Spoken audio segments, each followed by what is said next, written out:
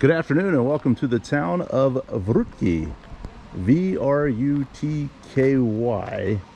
northern Slovakia. I'm going to pair this up with two towns today. Vrutky is the first stop, a town of about 7,000.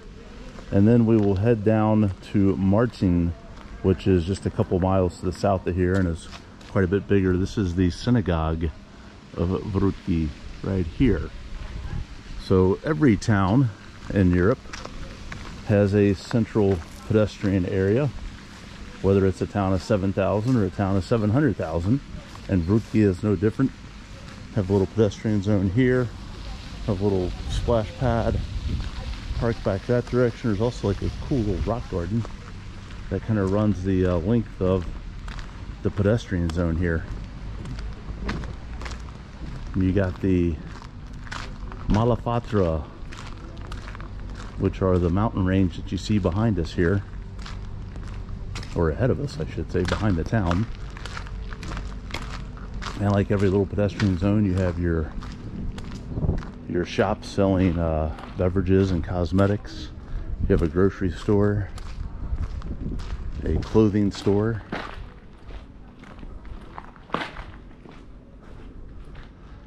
And very very well decorated out here. Here's the rock garden I was mentioning. And it kind of, there's probably six or seven of them. And these little pedestrian zone here. There's also a church steeple I saw. I'll try to find it maybe up here around the corner. That if it's easy enough to get to, maybe take a walk down there and take a look at it.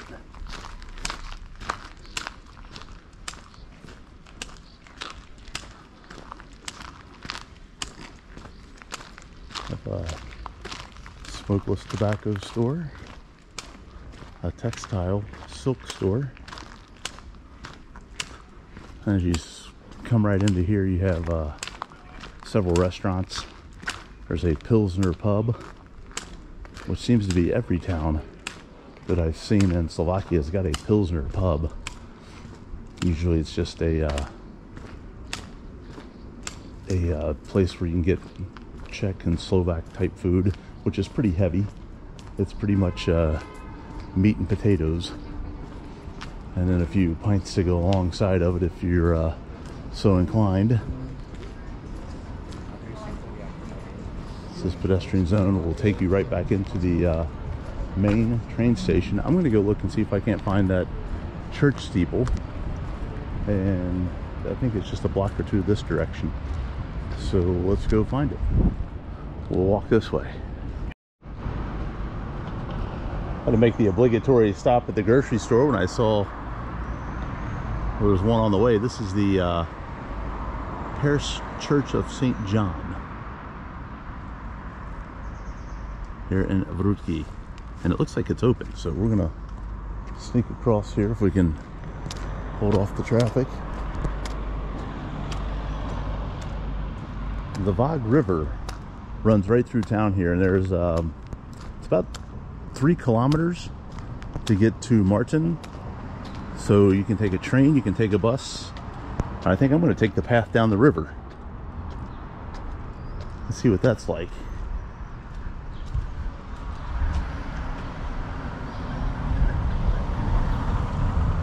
Nice little seating area out here. 1906 I believe was when the uh, church was constructed.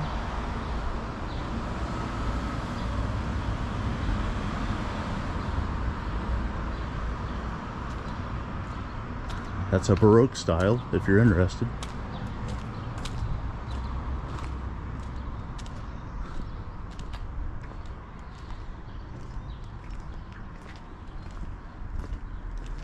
Normally you're not allowed to uh, photograph the inside of the church and I always try to respect that rule.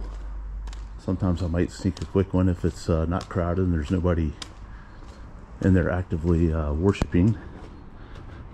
And sometimes you don't have any signs up at all. This is maybe like a little back entrance here.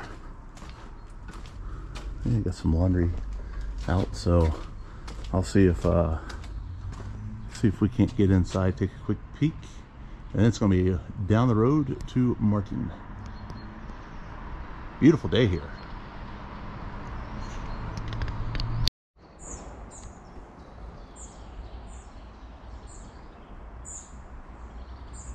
As I'm walking down the river heading towards the town of Martin, I'm passing by all these apartment buildings that all look exactly the same. And if you're a history person at all, Slovakia was behind the Iron Curtain until the fall of the uh, 1991 when the Berlin Wall came down, basically opening up the east and the west. But I think what you're looking at here are apartment buildings that were built when um, Slovakia would have been under Soviet rule back in the latter part of the uh, previous century. Which also gets me thinking about my Kofola drink and maybe a little bit of history regarding that. So the drink Kofola is a uh, soft drink that is real popular in the Czech Republic and Slovakia. You get a look at the Vag River flowing ever swiftly here.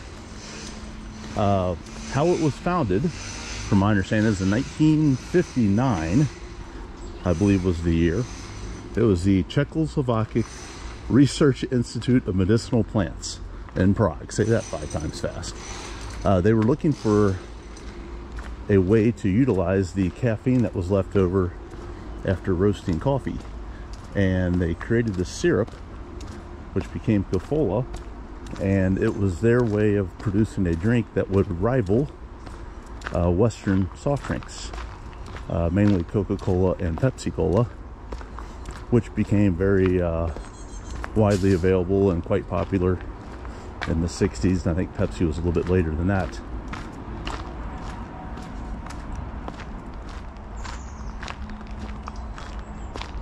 Kofola today rivals the sale of uh, Coke and Pepsi, at least in the Czech Republic and uh, Slovakia. I think I inhaled a uh, cotton ball there, but um, Kofola compared to Coca-Cola has two-thirds the calories, two-thirds the sugar, and 50% more caffeine. So go figure that. Uh, but it is quite tasty, and uh, that can I bought was only 69 cents. So Kofola, readily available, readily affordable. We're gonna walk to Martin. Check out this little traffic jam walking into the city of Martin. Because the train tracks are blocked off. The gates are down, but there hadn't been a sight of a train for about 10 minutes now it's starting to back up. Just your luck, you got off work early, thought you were going to be home before everybody else, and you get stuck by a gates on the train track. Guess we could always go into the wine store. All right, we'll keep trying to get into the city.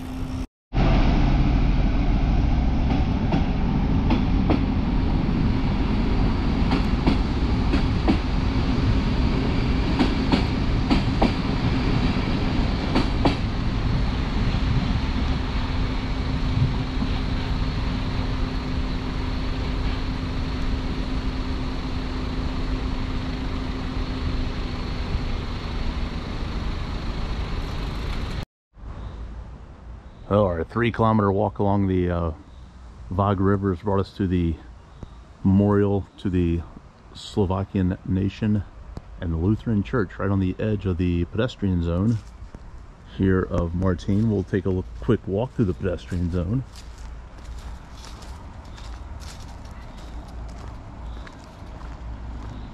The pathway on the river came up the entire length from where we started and there's a shopping center right along the way so I pause there for a quick coffee. And uh, now some brightly colored buildings here.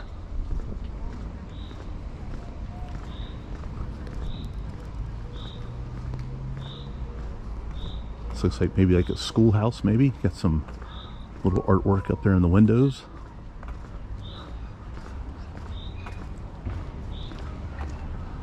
think there's a park down here somewhere in the uh, center of town. It's actually called the Park in the Center. Not very crowded out at this juncture. It is about 4 p.m.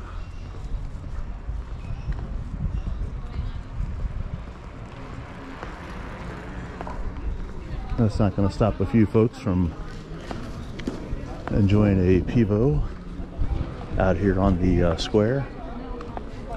It looks like it's a uh, clock and jewelry store there in the yellow building. And of course, like every European city, big or small, this one a little bit bigger, 55,000 people, I think, if you uh, go by Wikipedia, live here in Martine.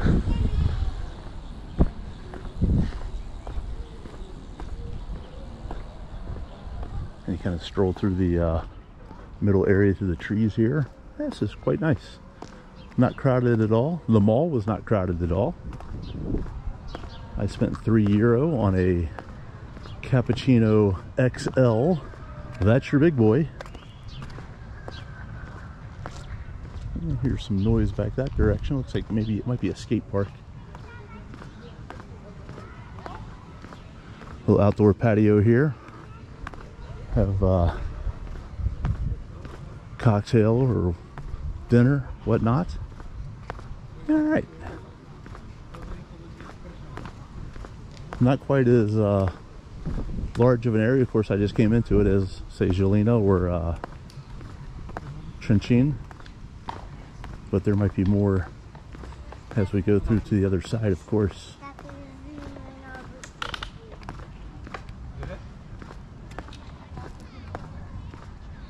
All right, we'll continue on here and explore the town of Martine.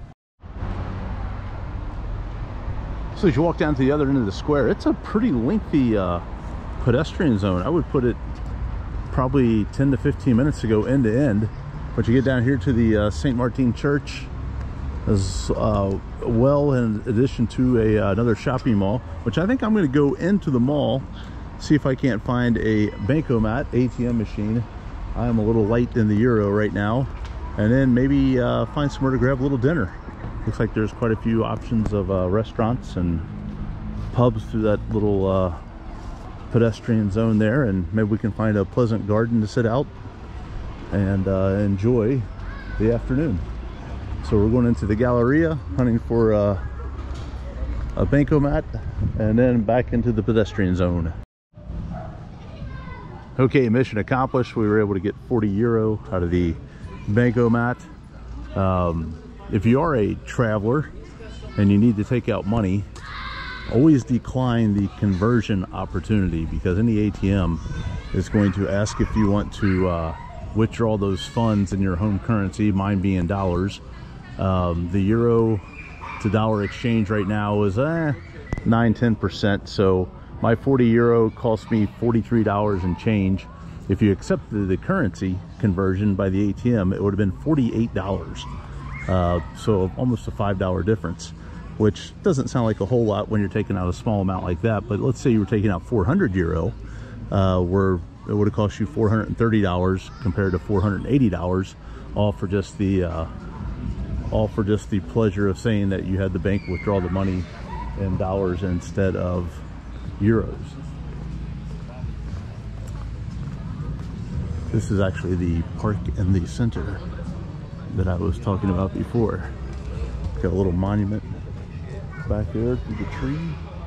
There it is. Got a better look at it there. Also, last tip I can give you is there's always a free ATM somewhere for the most part.